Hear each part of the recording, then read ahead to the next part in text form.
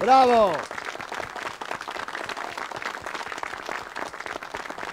Hermosísima presentación de Coqui Pajarín Saavedra con su ballet. Creo que era el Chango Farias Gómez con su tribu, poniendo el complemento sonoro a esta samba de Yupanqui, Luna Tucumana.